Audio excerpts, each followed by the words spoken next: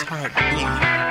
Who would take deadly vengeance on a man for such a slight offense?